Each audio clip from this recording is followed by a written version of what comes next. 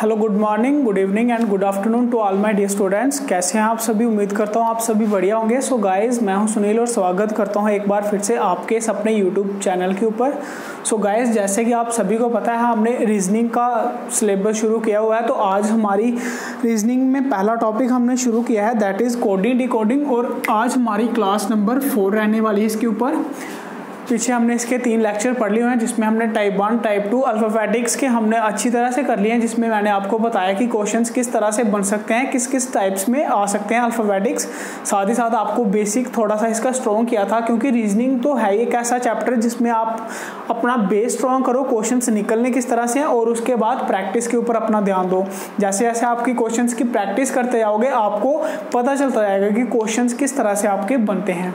सो so guys आज हम type three के ऊपर क्वेश्चन करेंगे, जो मैंने आपको बताया था कि टाइप थ्री में कैसे क्वेश्चंस रहते हैं, जिसमें आप इस तरह से लगा सकते हो कि अल्फ़ाबेटिक लेटर्स को ही आगे पीछे उसकी नंबरिंग को प्लस करके माइनस करके, या फिर उनके ऑपोजिट्स करके कुछ ना कुछ लॉजिक रूल लगा के उनके क्वेश्चंस को किया जाता है। फॉर एग्जांपल एक क्वेश्चन बताता हूँ क्वेश्चन नंबर वन आज का।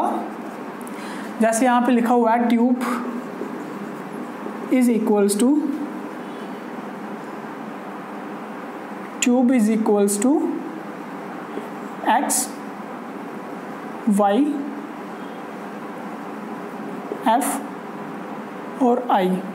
Then light will be कि बताओ इन सर्टेन लैंग्वेज क्वेश्चन आपका पूरा सेम टू सेम रहेगा, जैसे हमने पहली वीडियो में, पहले क्वेश्चन में रहा था कि in certain language the word tube is written as X Y F I then in that language the word lift sorry light is written as will be written as कि किसी language में अगर tube का code है x Y F आई तो बताओ उसी language में लाइट का कोड क्या रहेगा?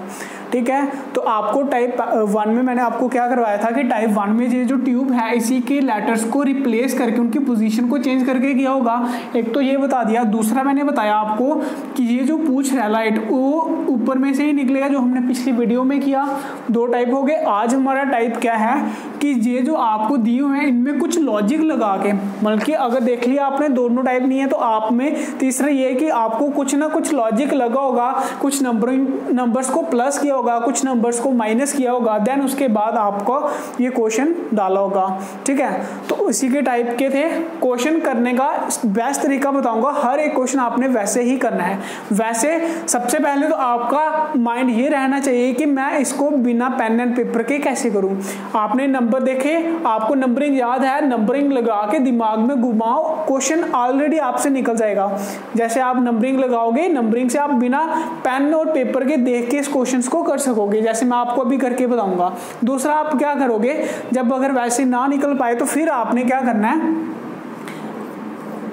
जो बर्ड्स दिए हुए हैं, उनको लिखना है ऊपर नीचे। पहले भी बताया हुआ है, किस तरह से करना है, जो बर्ड्स दिए हुए हैं, उनको लिखना है ऊपर नीचे। देन उसके बाद आपने लगानी है नंबरिंग नंबरिंग से आपके 100 परसेंट क्वेश्चन जो हैं वो निकलते हैं. 100 परसेंट क्वेश्चन आपके जो है वो नंबरिंग से निकल जाते हैं. इसलिए पहले तो आपका ये क्या रहना चाहिए कि आप अपने माइंड में सोच के क्या आप उस क्वेश्चन को 10 सेकंड के अंदर अंदर कर सकते हो? अगर तो कर सकते हो तो फिर तो आप सोचो, उसको करो. अगर वहाँ पे क्वेश्चन आपका नहीं निकला, फिर आप नंबरिंग लगाओ. नंबरिंग से हंड्रेड परसेंट आपको क्वेश्चन निकलेगा. अब यहाँ पे देखो, पहले तो हम इसको सोचेंगे. सोचना किस तरह से है? यहाँ पे लिखा हुआ है टी यू बी ई मैंने देखा टी का एक्स बना हुआ है। टी की नंबरिंग क्या है? ट्वेंटी और एक्स की है ट्वेंटी फोर है ना? उसके बाद, यानी कि ट्वेंटी और ट्वेंटी फोर फोर का गैप आ रहा है। उसके बाद देखा यू और वाई यू की नंबरिंग है इक्कीस और y की नंबरिंग है 25 21 और 4 25 पहले दो लेटर से ही मुझे पूरा इसकी लॉजिक पता चल गया कि प्लस फोर तो हो रही हैं। पहले दो में अगर ऐसा आ रहा तो बाकी वाले भी जब आप देखो तो सेम टू सेम आपको पता चल जाएगा। फिर आपने क्या करना है? लाइट को देखा, इसके भी सारे में प्लस फोर फोर आएगा। तो फिर आपको पता चल गया तो आप सीधा से इसका बना सकते हो। जैसे पहले आपने देखा एल बारह पे है, बारह और चार कितने हो गए? सोलह। सोलह पे आता है पी उसके बाद आई आता है नौ पे, नौ और चार कितने तेरह। तेरह पे आता है एल आप ऑप्शन में चेक करो, यहाँ पे पी और एल पहले दिख रहा है, आपका वही आंसर हो जाएगा, आगे कुछ करने की ज़रूरत भी नहीं पड़ेगी। ये तो था आपका बिल्कुल बेसिक आपने, आपकी पहली अप्रोच कौन सी रहनी चाहिए। अब हम आते हैं दूसरे की, अगर आपको इस तरह से माइंड नहीं लग रहा है, फिर नंबरिंग से क्वेश्चन कैसे निकलना है? आप इसकी नंबरिंग लगाओ ट्वेंटी फिर उसके बाद ट्वेंटी वन टू और ये फाइव इसकी नंबरिंग लगा दो. इसकी नंबर आएँगी ट्वेंटी फोर इसकी ट्वेंटी फाइव सिक्स और नाइन अब देखो, बीस और चार, चौबीस प्लस फोर हो रहा है. इक्कीस और चार, पच्चीस प्लस फोर हो रहा है. दो और चार छः प्लस फोर और पाँच और चार प्लस पाँच और चार कितने हो गए? नाइन ठीक है? यहाँ पे आपको क्या पता चल गया? प्लस फोर हो रही है. अब आप इसकी भी नंबरिंग लगा दो. किसकी पूछी हुई है? लाइट की पूछी हुई है. लाइट की नंबरिंग क्या आएगी? लाइट की नंबरिंग आएगी आपकी ट्वेल्व, नाइन ये आएगा सेवन पे, एट पे, ट्वेंटी पे। अब प्लस फोर कर दो। बारह और चार सोलह पे आएगा पी नौ और चार तेरह तेरह पे आएगा एम सात और चार ग्यारह पे आएगा के आठ और चार बारह पे आएगा एल और बीस और चार चौबीस पे क्या आएगा आपका? सॉरी एक्स आएगा, है ना? तो ये आपका आंसर उसी टाइम निकल जाएगा कहने का मतलब नंबरिंग लगाओ नंबरिंग से आपका हर एक क्वेश्चन निकलेगा। तो ये थी आपके एग्ज़ाम्पल के साथ। अब इसी के रिलेटेड हम सारे question practice as a practice और आपको अलग अलग मैथड से निकलने वाले क्वेश्चन करवाएँगे। ठीक है? तो चलिए शुरू करते हैं फिर आज के questions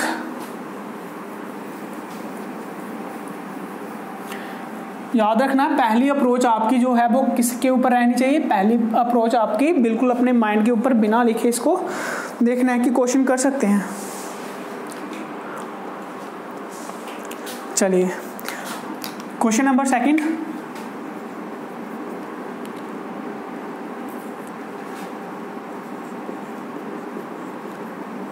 water is written as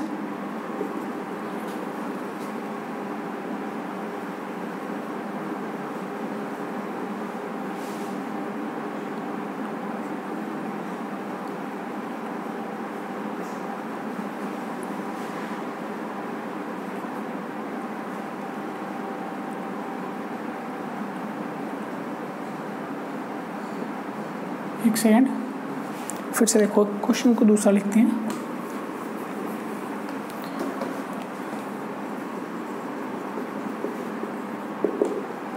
If water is written as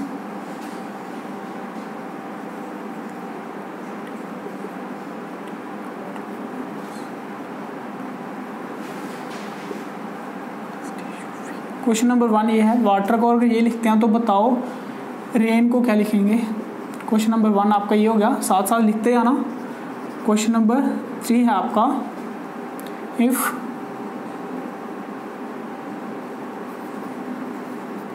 coat is written as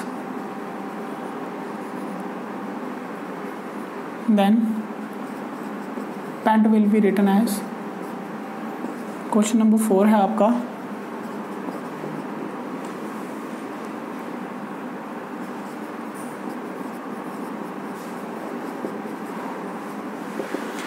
Happiness is written as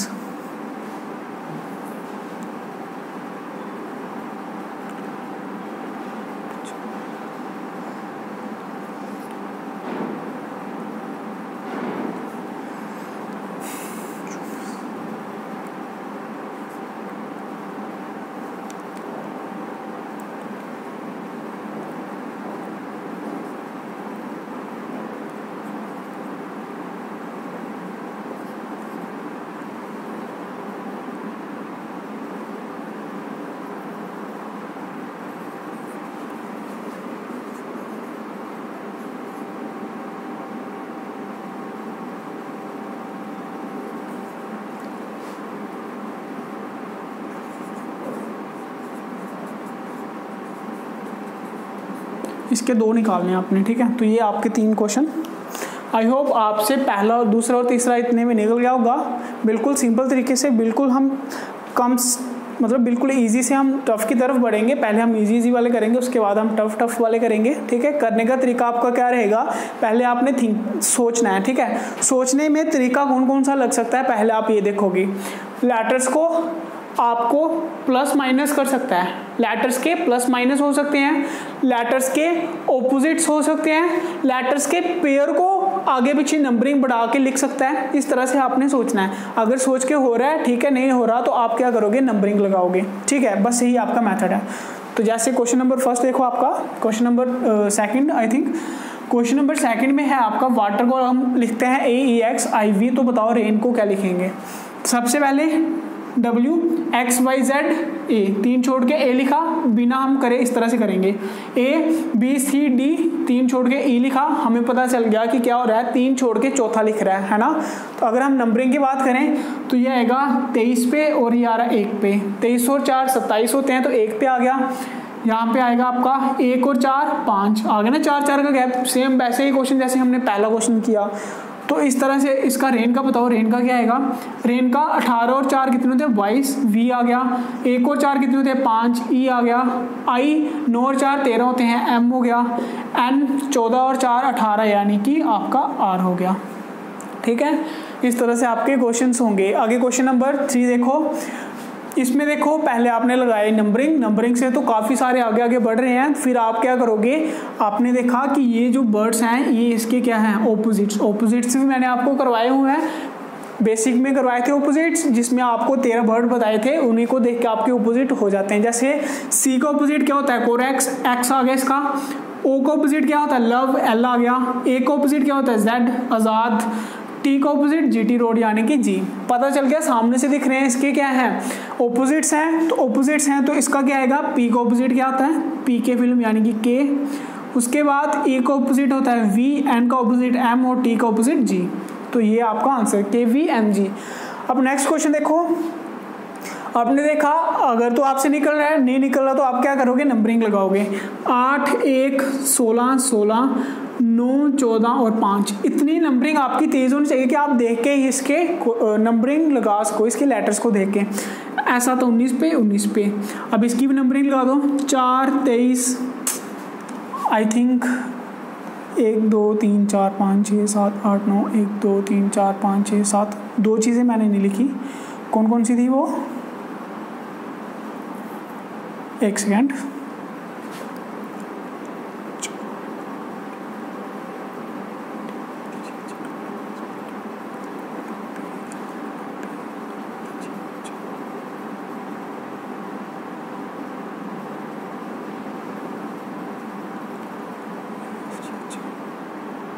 हाँ इसकी और इसकी नहीं लिखी है ना हमने। यहाँ पे बीच में देख लो, इसके बीच में क्या क्या आएगा? यहाँ यहाँ पे नीचे लिख रहा हूँ, ठीक है? यहाँ पे आएगा आपका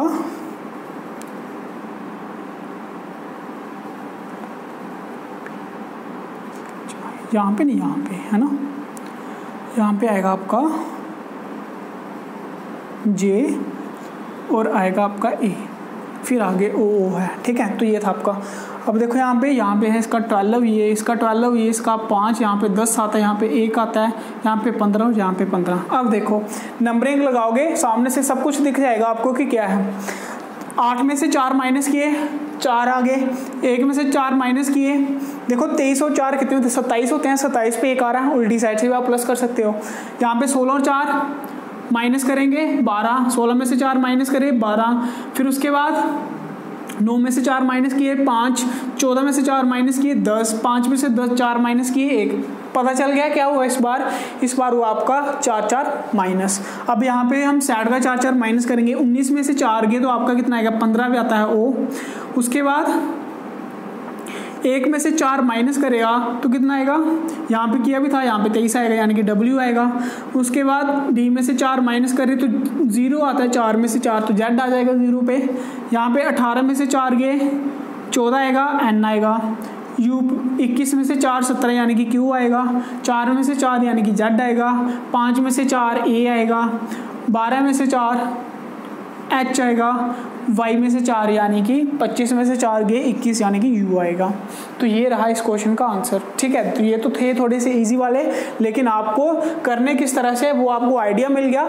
हर एक क्वेश्चन आपका अलग अलग टाइप से होगा, आपके थोड़ा सा आपको पता चलेगा कि क्वेश्चन किस तरह से बनते हैं, ठीक है? क्योंकि क्वेश्चंस जो हैं, वो ये तो है नहीं है कि बार बार हम लर्न करेंगे क्वेश्चन इन्हीं में से आ जाएँगे। ऐसा कुछ नहीं होगा। रीजनिंग में क्या होता है कि आपको अलग अलग टाइप के क्वेश्चन बताए जाते हैं। आपको इन टाइप्स के से फेमिलियर करवाया जाता है कि आपको क्वेश्चंस किस तरह से पूछे जा सकते हैं। आपके माइंड को इस तरह से आप सोच सकते हो कि आपके माइंड को खोला जाता है। ठीक है? तो आगे नेक्स्ट क्वेश्चन देखते हैं। हम क्वेश्चन फोर तक हो गए अब क्वेश्चन फाइव देखो आज का। क्वेश्चन फाइव है इफ़ फ्लावर इज़ ये देखते हैं। If reasoning is equals to question number five if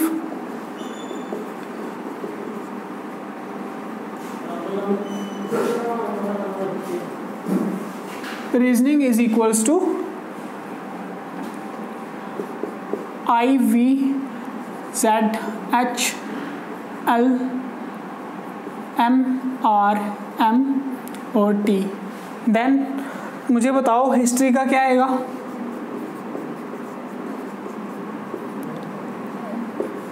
polity का क्या आएगा? और आपका इकोनॉमिक का क्या आएगा? ठीक है? क्वेश्चन देखते ही आपको पता चलना चाहिए किस तरह से आएगा।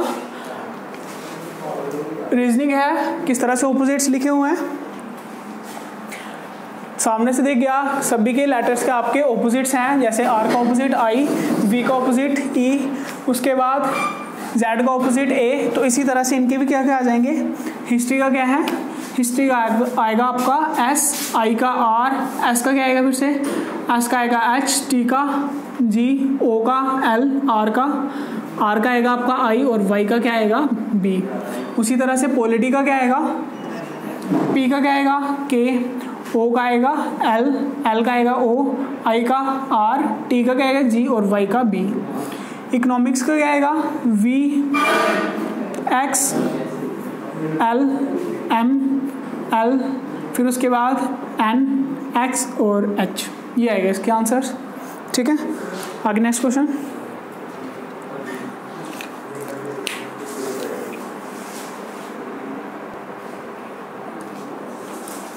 चलिए next question question number six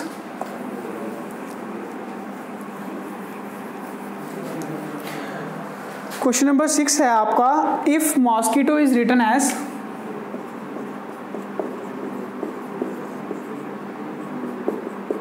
if mosquito is written as L G R F J, L G R F J, then उसके बाद H L N.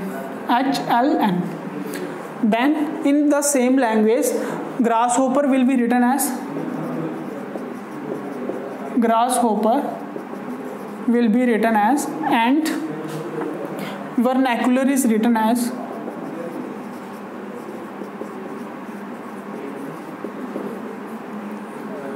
grass ओपर किस तरह से लिखा जाएगा और वर्नैकुलर किस तरह से लिखा जाएगा सोचिए किस तरह से निकल सकता है। क्या कुछ प्लस माइनस क्या कुछ ऑपोजिट्स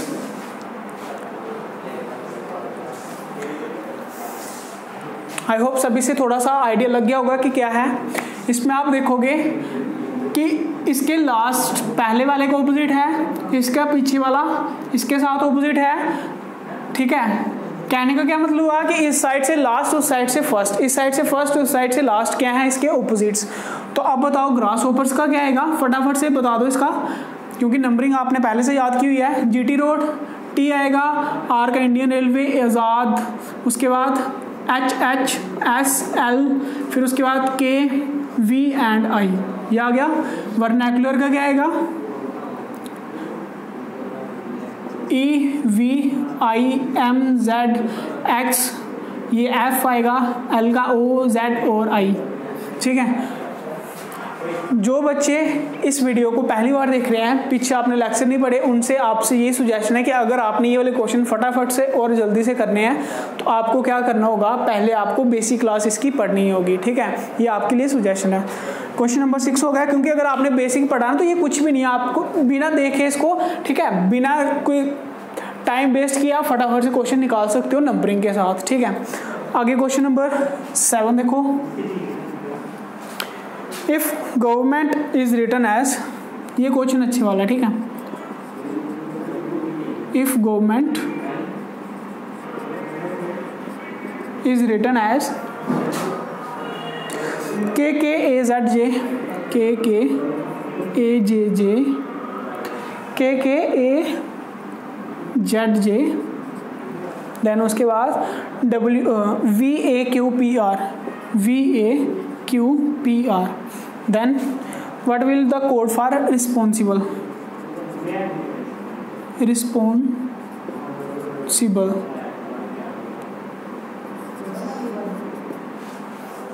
Responsibles. ठीक है? If government is written as this one तो बताओ रिस्पॉन्सिबल क्या होगा? ये क्वेश्चन अच्छे वाला है। एक मिनट का आपको टाइम मिलेगा। फटाफट से करके बता दो। ठीक है? फिर मैं आपको बताता हूँ।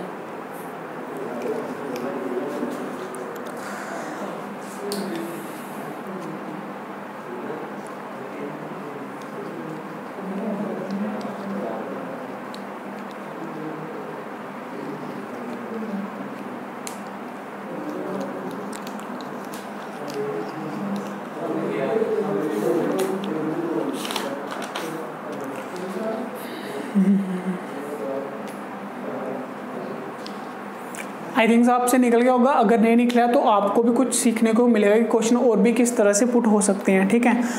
तो देखो, इसको मैं ऊपर वाला मिटा के यहाँ पे सॉल्व करने लगा हूँ।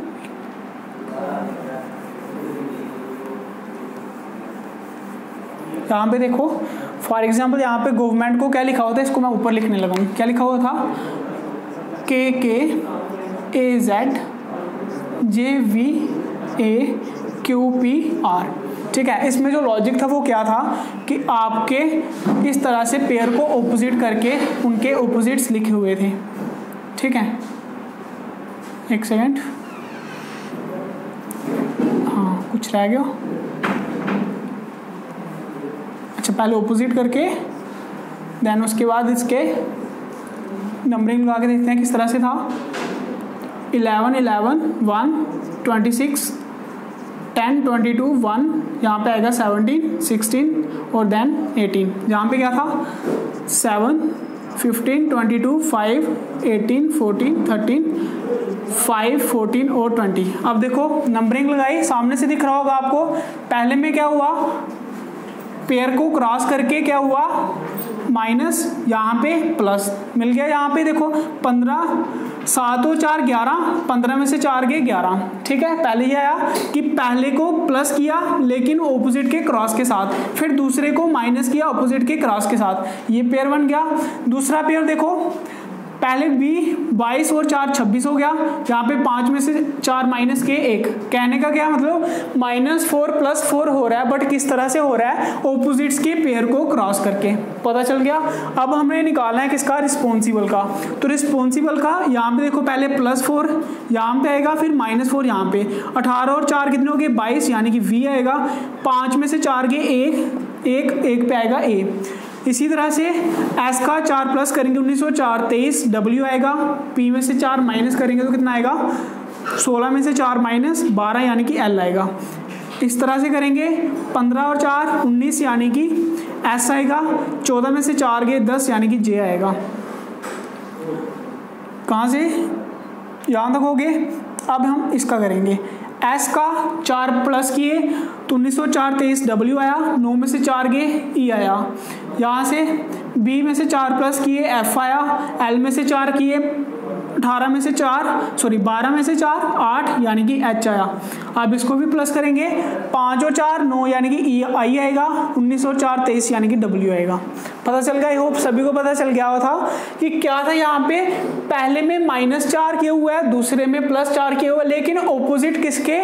पेयर्स के क्रॉस करके, यानी कि ऑपोजिट करके यहाँ पे ओ का यहाँ पे, इधर चला गया जी का यहाँ पे चला गया।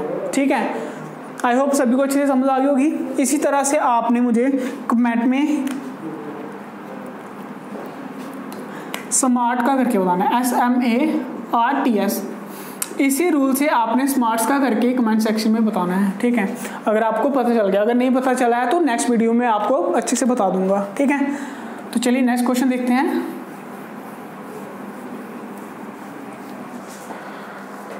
नेक्स्ट क्वेश्चन है if flower is written as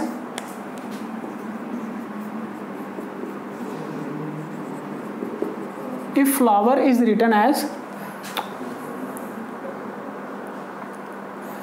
O U D L I V, O U D L I V, ठीक है?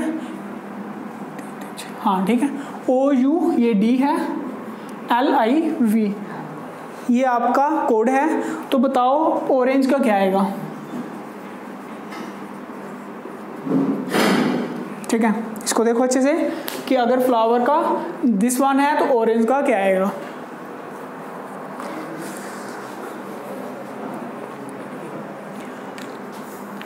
आई होप सभी से निकल भी निकल भी गया होगा अगर नहीं निकला तो देखो क्या था।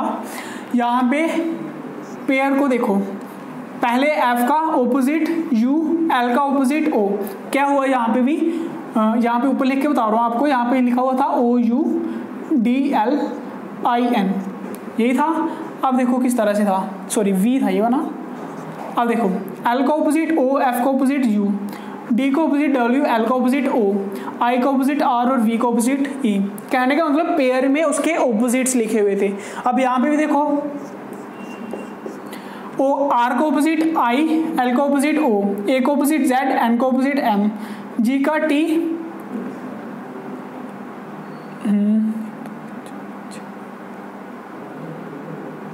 हाँ ई का ऑपोजिट क्या आएगा? ई का ऑपोजिट वी और जी का टी यहाँ पे जेड यहाँ पे था, है ना? ई का ऑपोजिट वी तो ये आएगा आपका आंसर ऑरेंज का। सो so गाइज़ ये थी आपकी टाइप थ्री के ऊपर क्वेश्चंस आज हम यहीं तक रखते हैं। नेक्स्ट क्लास में हम इसके और भी थोड़े से क्वेश्चन अगर मिलते हैं अच्छे वाले, वो भी हम करेंगे, ठीक है? तो उसके आगे हम बढ़ेंगे, इसके अलग और भी जिस टाइप्स के ये कोडिंग डिकोडिंग होते हैं, ठीक है? तो मिलते हैं आपको नेक्स्ट क्लास में। तब तक के लिए bye bye take care and God bless you